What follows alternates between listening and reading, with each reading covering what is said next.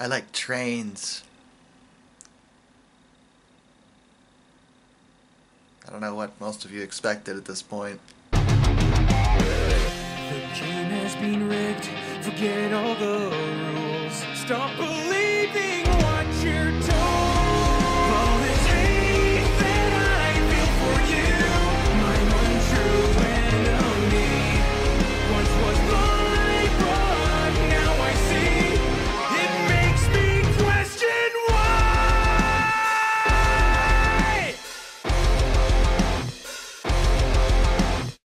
guess this isn't so much of a surprise for most people. Uh, it, it- it's, it's just one of those things that I feel like I don't have to explain anymore. Oh, maybe a few years ago I would have, but not not not not now. Anyway, so we're talking about Railroad Tycoon. This is uh, it's a it's a it's a sim. It's a it's a business simulator.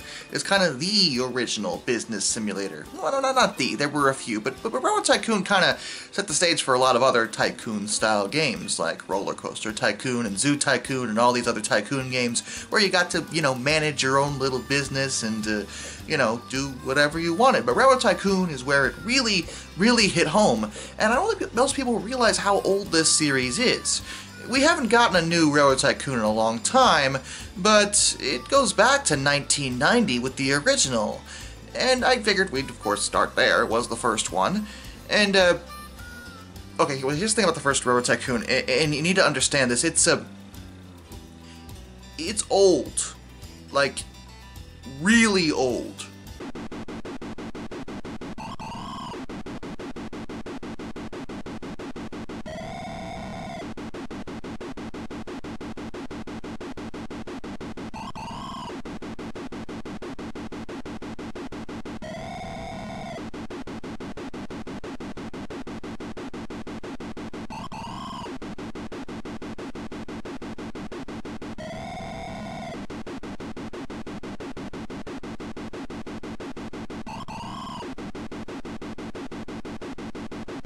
What did I say? Did you think I was joking?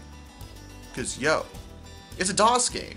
And, uh, I mean, it's very easy to play nowadays with DOSBox, and it's actually considered freeware, so it's very easy to get a hold of. You don't even need to buy it. But, is it worth playing now? I mean, I guess it depends on your point of view. For me, I mean, it kind of is, because it definitely shows how far we've come in terms of game development and things of that nature. Nowadays, this is, of course, nothing special at all, because, I mean, look at it. It's clunky, it's old, it's dated, but at the time, in 1990, when this game was formally released, it was actually pretty awesome. It was very deep for a DOS game. For a game this dirt simple, it had a lot of interesting mechanics, such as like an economy to focus on and factors like that. And of course, it had trains, locomotives, multiple different ones, and setting routes between various cities and things of that nature. There are several different maps to explore, as well as different graphics and sound options. And I, don't mean like resolution and stuff like that. I mean like straight up completely different visual representations of the game. Because back in 1990, a lot of people had vastly different technical capabilities and different add-ons. And it was a PC game, so you had to actually, like, in the beginning, explain to the game what your computer was capable of doing, so it understood how deep it went. Sound could vary from static discharge to actually somewhat okay sound. It varied. And later on, they actually released another version of the original Railroad Tycoon that offered newer maps for other countries as well as more locomotives, and and VGA graphics, which sounds like a very basic thing nowadays, alarmingly so, but back then that was a big deal, and yeah, that's that's the kind of, you know, old school tech we were dealing with. This is the kind of game I often think of whenever I see an argument on Twitter about frame rates saying that, oh no, we need 4K and maximum 120 frames per second, it's what we all deserve. And I'm like, you children don't understand where I come from. Because, yo, back in the day, this was this was the jam though. Is it worth playing now? I guess is the real question. And, well, it is free, and getting a hold of DOSBox is also no big deal. So I guess you only have to worry about investing your time. And I'll put it this way if you want something old, like a really dated computer game, just to just to play, just to experiment with, just to see how it was. Or if you're an older gamer and you may have missed out on this kind of game and are interested, then yeah, I would say it's worth it. It's good for what it was. It hasn't aged well at all. Like comparing it to today's games is you know, like not even close. But of course, the technology was very limited. But, you know, it's kind of like going back to an old Atari game, I'd almost say. It's, it's one of those deals where it's like, yes, it is very dated, but for the time, it was excellent. So, if you're okay with that, then yeah, of course give it a try. It was a great game for what it was. This game was the brainchild of one Sid Meier, who you may be familiar with as his name is on various different games, such as the major one, the Civilization series, even though he hasn't been heavily involved in Civilization in a while, at least not as a lead designer. Fun fact, the reason why they started advertising Sid Meier's name on the games in the first place was actually due to the suggestion of Robin Williams. No, seriously. I'm not making that up. It's just one of those things. They were at a, you know, a meeting and Williams was there and he was making them all laugh and he suggested advertising Sid as the star programmer for this kind of game. And they rolled with it because it was Robin Williams and well, the rest is history. Now everyone knows Sid Meier's name. Anyway, there isn't much more to say about the original Railroad Tycoon other than the fact that it definitely exists, and it's definitely a thing you could easily pick up and play if you really wanted to, but just remember, it's old. But now we can move on to my favorite Railroad Tycoon game, which is Railroad Tycoon 2. I adore Railroad Tycoon 2. Sid Meier actually was not involved in 2 or 3 for that matter, but the developers still did a phenomenal job and adapted the basic idea of the first game with newer technology, upgrading pretty much everything about it. Visually, the game is stellar for the time It actually has a very unique charm. They kind of went with this weird, I'd almost say pseudo 3D kind of look, where I, I, think there are some 3D models in the game, but very, very few. Most of what I can see is that it's a bunch of 2D sprites, but they're shaded in a way that makes it look 3D in some elements. It's kind of like, well, Roller Coaster Tycoon, actually. I'm pretty sure Zoo Tycoon did the same thing. It's a very similar style in that regard. As the owner of a railroad, of course, the very idea is to connect various cities and move goods around. It sounds pretty basic, but it gets pretty involved as you need to know which cities require what goods and which cities supply which goods. You choose how big of a station you can get, and remember a larger one costs more money. And you also need to remember you have to maintain your locomotives, and different types of locomotives require different types of maintenance. Steam locomotives, for example, require water towers in order to function properly. All locomotives require some level of maintenance, as well as sanding towers, and there are also additional buildings you can attach to your station, such as hotels, restaurants, and things like that. That sort of thing, of course, enhances passenger service, which is also beneficial. The idea is, of course, to make as much money as possible and run a successful company. There's stocks to consider as well, as you can buy and sell various stocks in your own company, and start multiple companies at once, which is a feature that I adore and love, because as the name implies, a railroad tycoon, you are in fact a railroad tycoon, a rich entrepreneur who's starting a railroad company. But most of the tycoons back in the day actually owned multiple different railroads. They didn't own just one. The reason for this varied, it depended, but generally it was a way to kind of hide the fact that they were running a monopoly. As this is a game, you know, do whatever you want. The point is you can have multiple companies that don't necessarily have to be competing with each other in the grand sense of things. As far as game mechanics though, well, the reason there's a separate company, I think, is because the game insists that even though in real life railroads don't necessarily have to do it this way, once you start a railroad, it always has to be connected with wherever it goes. You can't just jump to the other side of the country and put line over there and have it be the same railroad. It has to be a separate company at that point. So from a game perspective, I see why they did it, but from a realistic historical perspective, I also see why they did it. It was a good idea. There are plenty of different types of locomotives, many are very recognizable. Some of those famous locomotives in world history are here, and the music is top tier, actually. They went for a smooth blues style musical overlay, very old school railroad style music, the kind of, you know, stuff that would get you to think about, well, a different time, an older time, a, a, forgotten time by some people. It really takes me back, you know, to, you know, to, to, to those days when it was all about the railroads, building railroads, running trains. America ran on the rails. I've got freedom to sing the blues. I've got freedom spread the good news. Well, I got freedom in the morning, freedom at night. Freedom gonna help me to see the light. I've got freedom from all of my pain. Well, I got freedom from the pouring rain. Well, freedom in the morning freedom at night. Freedom gonna help me to see the light. Lord, I had some troubles. You know I had them bad. But Lord, all my troubles really, really make me sad. Freedom came and took my blues. Yes, they did. I've got freedom in the morning and freedom at night. And freedom gonna help me to see the light. Yeah.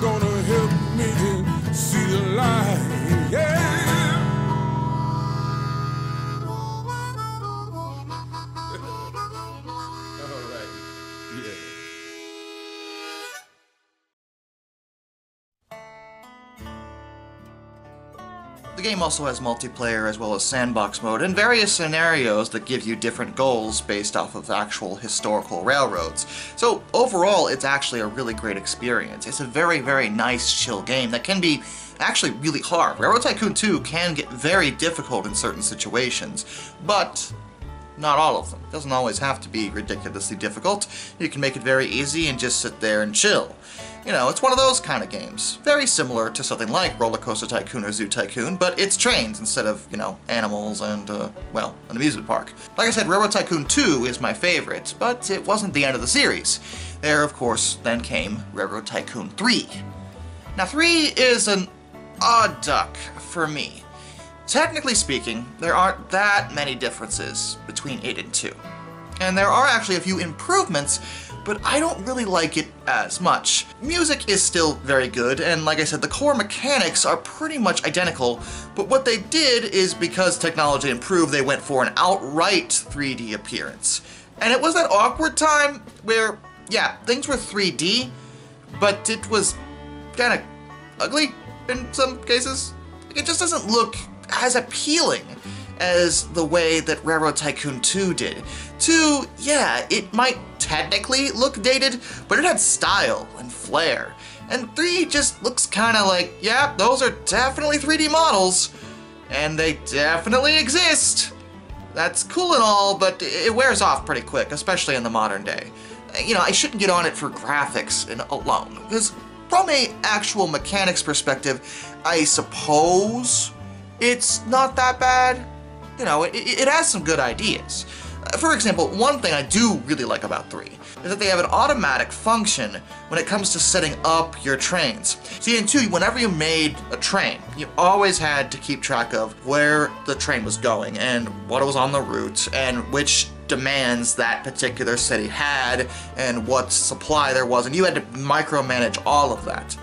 3 has an auto setting where the game does that for you, so that actually does make that a lot easier and less time consuming overall, and the automatic setting is actually pretty good. It will generally optimize the train, so you'll be getting the most money out of a route without necessarily having to worry about it yourself. Now, it is true, that might be part of the game for some people, and 3 does still leave the option open for you to be able to do that on your own if you so choose, but the point is there's the choice here to not make it as difficult as it otherwise would be. One thing I don't like is that in 2, something that was very streamlined was the extra buildings. Whenever you build a station in 2, you always added on the extra buildings to the station, since it made sense, everything had to be near that. But in 3, it's a separate tab entirely, and you actually have to manually place the buildings wherever, well, you want.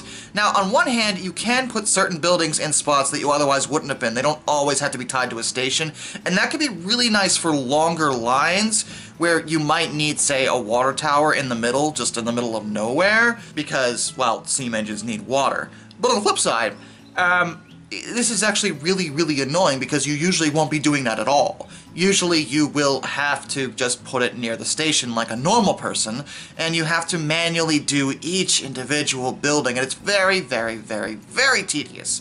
The amount of locomotives in the game are still pretty good, and yeah, I guess the visuals aren't as appealing as 2, but they're still nice for the time. There's plenty of interesting scenarios, but another thing that really drives me crazy is actually one of the menus campaign menu as you're going through this kind of museum showroom. Now, that looks really, really, really visually nice, with some cool pre-rendered stuff, but it takes forever to go through it. And it's a menu. Okay, just make it a list.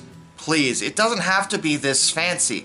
I get that you guys were trying to show off this cool new 3D technology, and it's cool to see some of this stuff, like, hey, look, it's Mallard. But also, also, also, it takes like 30 seconds to go through the whole list, and not because it's a long list, but because you have to manually click. Is Railroad Tycoon 3 worth playing? Well, people do like it. It is still a good game. I just don't care for it as much as 2. That's just my opinion on that particular matter. It's not that the game is bad. It's actually good. It is. It's enjoyable. It still has a lot to offer in terms of scenarios and different things like that. It's still Railroad Tycoon. It just, I don't know, it just doesn't vibe as well as 2 did with me. That's just where I'm at with 3. But I still really liked it. Now you might be saying, well, that's the end of the review. There's no more Railroad Tycoon games. Uh, that's not true. And I know I'm not talking about the mobile ports for Railroad Tycoon, which I'm not going to get into because they're pretty much just remakes of, like, the original Railroad Tycoon. I heard they were good, but I'm pretty sure they're like lost media now. It's hard to get a hold of that. Uh, but there is at least one more Railroad Tycoon game that is genuinely considered a part of the series officially by the developers and the publishers, and that is Sid Meier's Railroads. Yep, Sid came back. Well, not exactly came back. What happened was the developers of Railroad Tycoon 2 and 3 got folded by 2K Games into the development studio that Sid Meier was in charge of. So naturally he became in charge of the Railroad Tycoon series by default, and he chose to create another Railroad Tycoon game, but he called it Sid Meier's Railroads instead. It is considered a part of the same series, and for all intents and purposes, this is Railroad Tycoon 4, and its intro cutscene is actually pretty cool. I, am not gonna lie. It has this guy making a model train set, but it bounces back and forth between that model train set being real and, well, just a model. It, it's actually a very, very, very, very cool pre-rendered cutscene. I really enjoyed it. The game itself is alright, but it definitely has a unique style, like a very, very, very unique style. Whether or not it's a good or a bad style really depends on personal opinion because everything looks like, well, toys. It seems like model trains was kind of the goal here in order to emulate everything, because everything looks very, well, toy Just not very realistic, just a bit more cartoony. If you like that, it's alright. There's nothing wrong with that. For me, I prefer the more realistic style, um, that's just my opinion. But the mechanics are still there, and this is still very much a Railroad Tycoon game. But everything's been simplified to a degree that I'm not sure would vibe with a lot of people. A lot of people do enjoy this game, but you no longer have to worry about things like train maintenance and stuff like that. You just kind of put them on the track and let them go, and the whole focus is connecting the various routes, and making sure that every single train has the appropriate goods on it. Outside of that, though, you're not really worried about the kind of train, and you know, it feels like that's a lost feature. I think the idea was to simplify the element of running a railroad, trying to focus more on the actual, you know, building of trains elements, rather than worrying about maintaining them necessarily. And I get that, but if you wanted to emulate a real railroad, that's kind of not the way to do it. This is well, more like emulating a model railroad, actually. And maybe that was the goal. Maybe that was the point, to try to make it seem more like that. And it's still fun, actually. I enjoyed playing it. Music is fine, and the visuals, if you're okay with the new style, are definitely good, and there's plenty of locomotives here as well as different maps, but it just doesn't feel like it has the same flair or heart as 2 did, or even 3 for that matter. It's just more focused on just the building of the track, which if you're into that, yeah, it's good, it's fun. It just felt a lot more hollow than 2 did. That's kind of where I'm at with it. Also, there's one thing that drives me crazy, and it's only driving me crazy, and I recognize that.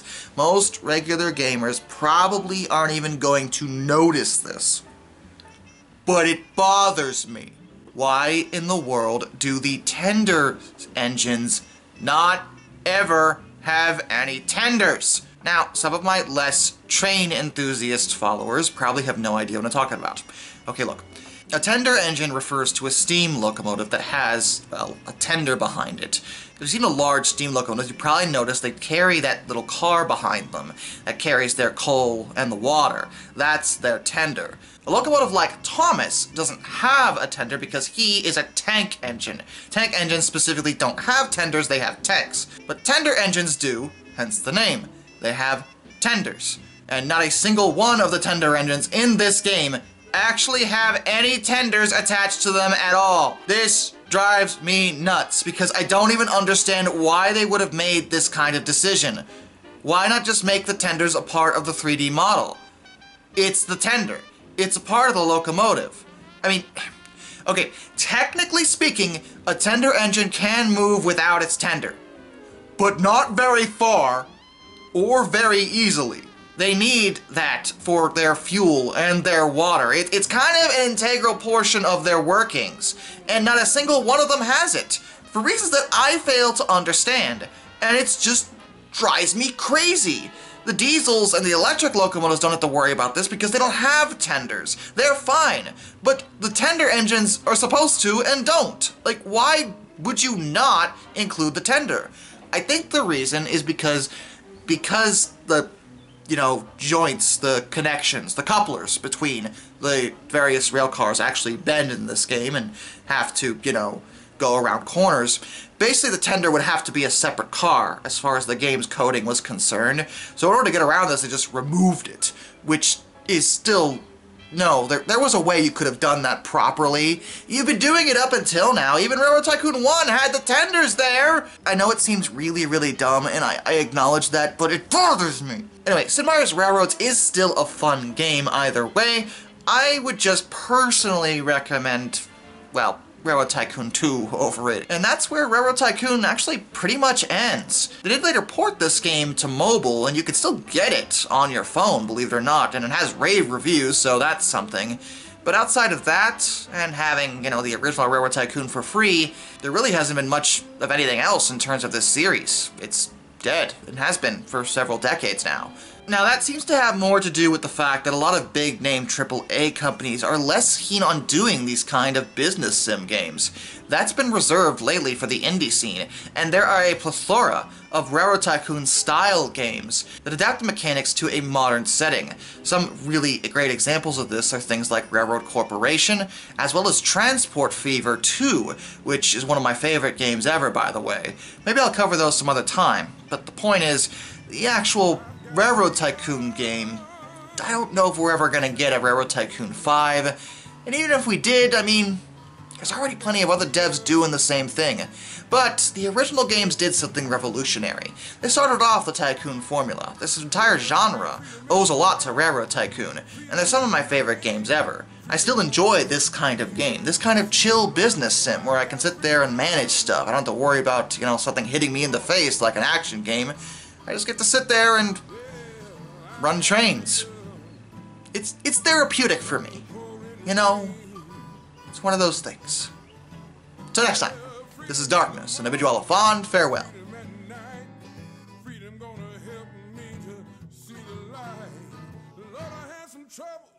You know I had them bad. But all my troubles really, really make me sad.